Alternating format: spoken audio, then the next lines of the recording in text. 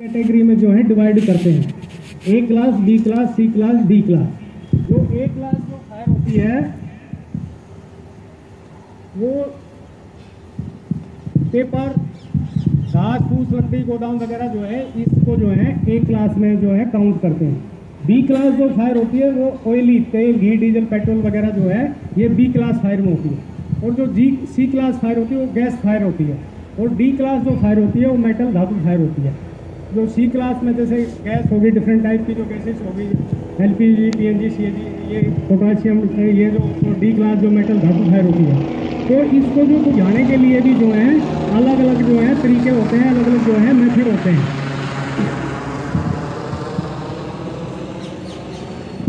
जैसे ए क्लास होगी पेपर ये जैसे घास फूस, लकड़ी और इस टाइप की जो होती है, जो बी क्लास में आती है, ये जो है ऑयली फायर तेल की फायर और जो सी क्लास की होती है, ये गैस फायर होती है. और डी क्लास जो होती है, ये मेटल या धातु फायर और ई e क्लास को जो है इन्हीं में मर्ज कर दिया, वो जो इलेक्ट्रिसिटी जो फायर होती है, वो ई e क्लास भी होती थी, लेकिन आजकल जो है ना, इसमें जो इक्विपमेंट्स वगैरह जो हैं, वो इसमें ऐड कर दिए। तो इसको बुझाने के लिए जो होता है मेनली जो इसके तीन तरीके होते हैं आपको बुझाने के लिए। कूलिंग स्मूदरिंग और स्टारवेशन कूलिंग जो होता है, जो है, उसके जो है टेम्परेचर को जो है, पानी के द्वारा जो है हम उसके टेम्परेचर को डाउन करते हैं कूल करके जस्ट लाइक जो एक क्लास फायर होती है, उसमें पानी यूज़ होता है। जो बी क्लास फायर होती है, इसको जो है हम समुद्री करके जो है, उसका दम घोटना, समुद्री माने दम घोटना ऑक्सीजन की जो कट ऑफ़ कर देते हैं। उसमें जो है फॉर्म फायर एक्सटिंग्विशर या जो फॉर्म होता है, उसकी जो है लाइनियर बनती है उसके ऊपर। उसको जो है, उसके ऊपर फ़र्क बन जाती है, बुलबुले बन जाते हैं। क्योंकि अगर ऑयली फायर पर अगर हम पानी मारेंगे, जैसे कढ़ाई पे तेल उबलता है, अगर उसमें पानी डालेंगे तो वो एकदम जो है और भी ब्लास्ट या आपको जो है छीटे वगैरह जो उसमें जो है खतरा होता है, इसलिए जो उसमें और तीसरा जो मैंने जो बताया आग बुझाने का मेथड, वो स्टारवेशन होता है। स्टारवेशन मीन्स माने भूखा मारना। जब आप मान लो एक लकड़ी के ढेर से लगी है, एक आइटम इसमें लगी हुई है, अगर दूसरी आइटम्स को वहाँ से रिमूव कर दिया जाएगा, हटा दिया जाएगा, उसको जो जलने का सामान नहीं मिलेगा इट मीन्स दैट जो है, वो आग ऑटोमेटिकली बुझ जाएगी। तो उसको नहीं तो ये मेन जो है, तीन तरीके जो हैं आग बुझाने के होते हैं। फिर उसके बाद जो है ये आपके जो रखे, ये पोर्टेबल फायर एक्सटिंग्विशर होते हैं। इनको जो है पोर्टेबल जो है, हल्के जो है, ले जाने के तो क्योंकि कोई भी जो फायर होती है, वो इनिशियल स्टेज में बहुत छोटी होती है। आफ्टर दैट अगर उसको जो है केयर नहीं किया जाएगा या उसको जो है कंट्रोल नहीं होगा अगर उसको स्कूल को स्टाफ को या इंडस्ट्री फैक्ट्री को उसको उसको नॉलेज नहीं होगी और भैया किस प्रकार की फायर कैसे इसको कंट्रोल किया जाए तो वो आग जो है बड़ा रूप धारण कर लेती है, और जो है पूरे परमाइसिस बिल्डिंग या फैक्ट्री को जो है, उसको जो है पूरे को जो है इन्वॉल्व हो जाती है उसमें। तो ये जैसे ये एक्सटिंग्विशर हो गए, जितने प्रकार की ये मैंने जो फायर बताई गई हैं, इतने ही प्रकार के जो है एक्सटिंग्विशर भी होते हैं। सोडा वाटर टाइप होते हैं, ये फोम के होते हैं सी ओ कार्बन डाइऑक्साइड के होते हैं जो डिफरेंट टाइप की जो फायर होती है, उसको जो है, ये जो है, इसको पोर्टेबल फायर एक्सटिंग्विशर इसलिए कहते हैं, इनको हाथ से आसानी से लेकर एक दूसरे स्थान पर ले जाते हैं। फिर दूसरा अलग ये जो है आपके यहाँ पे सिस्टम लगा हुआ था, ये भी जो है बहुत ही एसेंशियल किसी भी बिल्डिंग की एनओसी या के लिए जो है, ये स्प्रिंकलर सिस्टम ये फायर फाइटिंग सिस्टम और ये जितने जो आपके हाइडेंट्स वगैरह, ये बिल्डिंग्स के नॉर्म्स होते हैं अकॉर्डिंग टू एनबीसी के हिसाब से, जब भी किसी परमाइसिस या बिल्डिंग को जो है एनओसी दिया जाता है। तो ये एक तो ये जितने भी एक्सटिंग्विशर होते हैं, ये जैसे आपका जो फायर सिस्टम है, ये टाइमली जो है चेकअप होना चाहिए, भाई ये हमारे वर्किंग ऑर्डर में है कि नहीं है?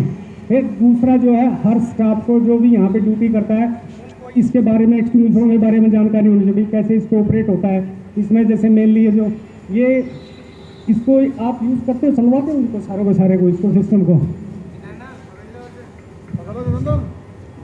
इसके साथ साथ जैसे अगर किसी बिल्डिंग्स में आग लग जाती है तो कुछ इक्विपमेंट्स हैं वो हमारे पास डॉक्टर ऑफ़ एजुकेशन सभी वो आ रहे हैं। एक होता है बी ए सेट होता है, जब किसी बिल्डिंग में आग लग जाती है और धुएँ में जब कोई कैजुअलिटी वगैरह ट्रैप हो जाती है, आदमी फंस जाते हैं तो एक ब्रीथिंग अपैटस होता है, श्वास यंत्र जिसको बोलता है, उसमें जो है, एक ऑक्सीजन जो है सिलेंडर होता है, वो पीछे जो है, हमारे जो फायर फाइटर या जो ट्रेड आर्म भी होते हैं, वो अपनी कमर पे उसको बाँध के पीछे ऑक्सीजन का सिलेंडर का उसमें बाल होता है उसका, उसको लगा कर उसमें जो है काम करते हैं। उसमें जो है कई चीज़ प्रिकॉशंस होती है, उसमें वार्निंग विशल होती है। वो 40 मिनट तक चलता है। जब 10 मिनट की उसमें ऑक्सीजन दे देते हैं तो उसमें वार्निंग विसल वो बचती है, वो जो है इंडिकेट कर देता है कि भाई आप जो है पीछे हट जाओ और आपका जो है सिलेंडर खाली होने वाला है। और इसके साथ साथ जैसे श्योर के रेस्क्यू वगैरह होते हैं, या आपके यहाँ हेलो तो इसमें जो है जितने हाँ देखो देखो। ये जो प्रेशर है, ये बहुत ही हल्का जो है प्रेशर होता है, क्योंकि हमारी जो गाड़ी इंजन से करते हैं, जो है, हम पाँच मीटर छः मीटर चलते के लिए जाते हैं। तो उसको जो है कंट्रोल करना है, ऐसे ही क्लास जैसे इसको नीचे भी साइड में बाएँ बाएँ, भाई, चारों तरफ़ घुमाओ, सीधे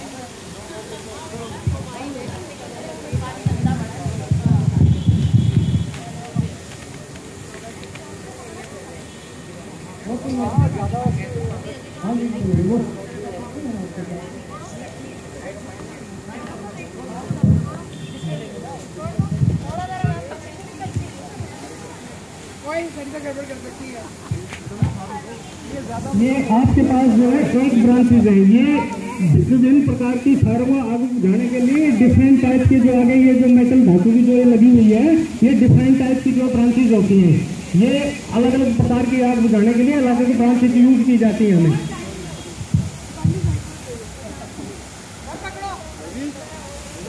और आपके ये जितने भी ये लगे हुए हैं, ये रबड़ हो गए, इनको भी टाइमली इनका चेकअप होना चाहिए भाई, ये कहीं इनमें फफूंदी या रबड़ वगैरह एसिड नहीं बन जाता है अगर ये ठीक काम कर रहे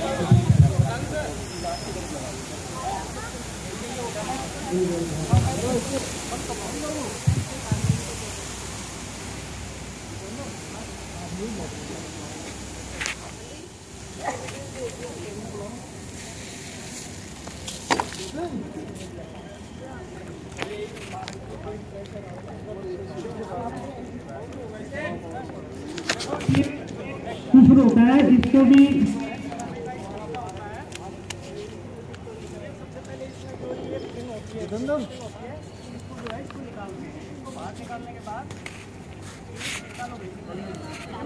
और इसका ये जो है स्विच जो है होता है, इसको दबाया जाता है। फिर ये इसका जो जेट है, ये जो है, इसको जेट को जहाँ पे जैसे फायर होती है डोंट भी किसी को जो है घबराना नहीं है। ठीक है ना? सबसे पहले जो है, आग बुझाने का डिजास्टर का इमरजेंसी काम का जो है ना, ये अपने आप को जो है काफ़ी कंट्रोल में अपने को होश हवास में रखना पड़ता है। निकालो ठीक है ना? इसकी जेट को इसको सीधा करो। इसमें देखो ये कहीं से जो लीक तो नहीं है अगर कहीं से लीक होगी तो ये आपको ऊपर जो प्रेशर मारेगी। हाँ, इसको जो है सीधा जहाँ पे जाएगा ना दबा। ये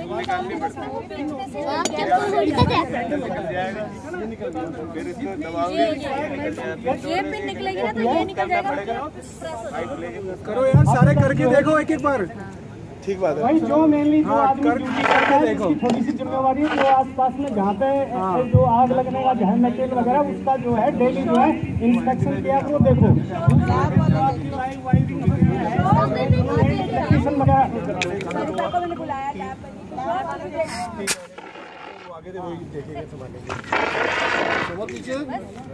हाँ। भैया आप लोग भी करके देखो। आप लोग भी करके देखो आप लोगों के लिए है बेसिकली हाँ। लगा होता एक बार। अंदाज़ा लगेगा ना कितना प्रेशर है उसमें कितना नहीं है। एक या ड्राई पाउडर पीछे क्लास के जो है। लगभग है फायर के होते हैं जैसे एक होता है सीओ टू का कार्बन डाइऑक्साइड उसमें जो है सिर्फ़ कार्बन डाइऑक्साइड गैस ही निकलती है। उसके सामने एक डिस्चार्ज हो होता है वो जो कॉस्टली आइटम जैसे कंप्यूटर वगैरह। जो कंप्यूटर के लिए या जहाँ पे जो कॉस्टली आइटम होती है वो उस पर यूज़ किया जाता है सीओ टू को उसको जो है चलाने का अलग तरीका होता है उसका। क्योंकि अली कहाँ है जो अली इधर आके देख फ़ोटो में मत ले इधर आके कुछ चला के सब चलाओ यार पंद्रह सब सेल्फी ले सेल्फी जाके। अली पकड़ लो। अली जाके सेल्फी करता भी ले ऑयल वाली आपके लिए। हाँ जी वो वहाँ से वाल बंद होगा। सर पकड़ लो दो मिनट भर कैमरा नहीं नहीं इसको इसको ड्रेनेज भी करते हैं इसको निकालते ही है। इसको निकालने के तरीके से इसको सुखाना भी पड़ता है। नहीं तो अगर गीला इसको का बहुत वास्ट सब्जेक्ट है इसमें भी बीटेक होती है बस ऐसे पकड़ना, भी होती है, चला के देखूँ। फायरमैन भी होते हैं ड्राइवर भी होते हैं तो ये जैसे एक एम ए बी की एजुकेशन अकेडमी होती है इसमें फायर की टेक्निकल क्वालिफिकेशन है। हाँ ऊपर ऊपर।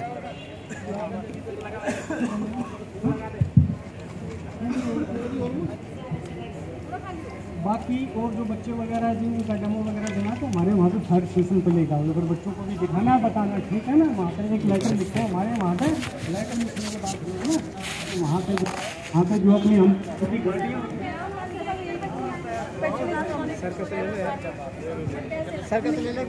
थोड़े से बच्चे सीनियर बच्चे होते हैं तो वो थोड़ा से जो है, जैसे आपका जो ट्रेंड जो टीचर है, जिसको नॉलेज हो जाए वहाँ पे वो आने के बाद जैसे आपके यहाँ पे प्रेयर वगैरह होती है, उसमें बताओ, भाई, जैसे सब्जेक्ट फायर का होगा जस्ट लाइक आपका डिजास्टर का भी जो चल रहा है ठीक है ना? अगर इस प्रकार की हो जाती है तो व्हाट इज़ द ड्यूटीज़ जो स्टाफ की क्या ड्यूटी है, बच्चों की क्या ड्यूटीज़ है, और जो मेंटेनेंस स्टाफ की उसकी क्या ड्यूटी है बिल्डिंग्स में हमारा क्या क्या सामान रखा हुआ है, कैसे इसका जो पासिंग आउट है, कहाँ पे इंटरनल स्टेयरकेस है, कहाँ पे आउटर स्टेयरकेस है कहाँ पे हमारा पानी का जो है, आपका स्टोरेज है और है टैंक कहाँ पे अंडरग्राउंड टैंक कहाँ पे है? ये आपके जो स्प्रिंकलर सिस्टम इसके वाल कहाँ से ऑन ऑफ़ है? आपकी इलेक्ट्रिफिकेशन कहाँ से हो रखी है? उस कंडूट पाइप में है ओपन में है, उसमें कहीं पे टेप लगी हुई है, नहीं लगी, खुली है। तो ये सारा जो है पूरा उसका जितना भी जो स्टाफ होता है मेंटेनेंस का उसका आके पहले सर्वे करें, देखें डेली ड्यूटी पे आने के बाद। दो चार, पाँच आदमी। भाई, कहीं पे ऐसे कोई फ्लेमेबल कोई आइटम तो नहीं है, कहीं पर ऐसा तो नहीं हो सकता, कोई डिजास्टर इंसिडेंट हो जाए तो परेड में या जो आपका पी पी आई जो वगैरह जो होता है वो एक जो है बच्चों को जो है डेली इसको जो है डिस्क्राइब करे इसको जो बताएगा तो उसमें जो है काफ़ी जो है सेफ़ एंड प्रिकॉशन प्रिवेंशन हो सकती है। Prevention is better than cure है? हाँ पहले मेन ये है क्योंकि टीचर अगर ट्रेंड होंगे जिम्मेवार आदमियों को नॉलेज होगी तो उन बच्चों को तभी दे पाएँगे सिखा पाएँगे। इसीलिए मैं पूछ रही हूँ कितने बच्चे आपके नहीं हमारे पास तो सौ दो सौ ढाई सौ तीन सौ चार सौ जितने भी मर्ज़ी आ सकते हैं। बड़ा ग्राउंड आपका इससे बड़ा बड़ा ग्राउंड है बहुत सारी हमारी वहाँ पे फाइव मिनट्स हैं और हमारे पास जो और भी जो इक्विपमेंट्स हैं जैसे आपके पास कोई ब्रांच है। हमारे पास तो जो है डिफरेंट टाइप की फायर होती है गोडाउन की फायर होती है कैसे बुझाते हैं।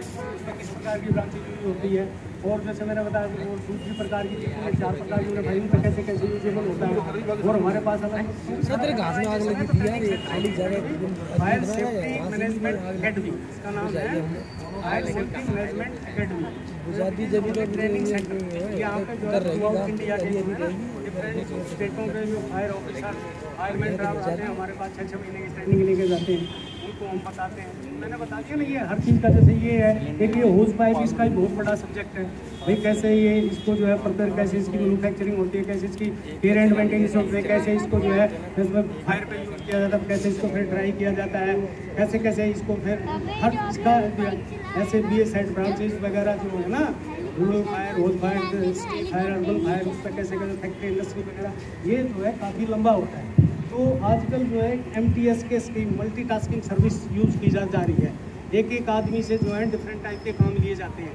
भाई पीएन का भी काम कर लेते हैं, उसका मेंटेनेंस का भी काम कर लेते हैं जब बड़े होशियार तो क्लर्क का भी काम लेंगे तो ऐसे ही जो है हमारे फायरमैन से पुलिस से या में जो आदमी जिस चीज़ के लिए फिट बैठता है, उससे वो ड्यूटी ले लेते हैं करवा।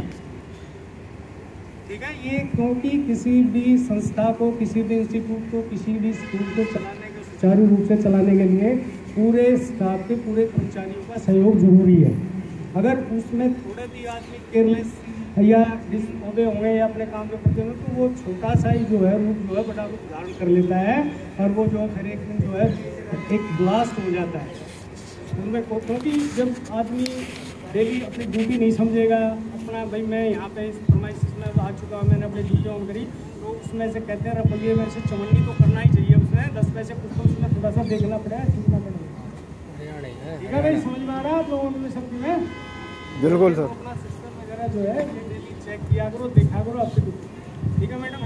हाँ? Thank you for watching viewers अगर ये वीडियो आपको अच्छी लगे प्लीज़ सब्सक्राइब करना ना भूलें। बाल भारती पब्लिक स्कूल रोहिणी।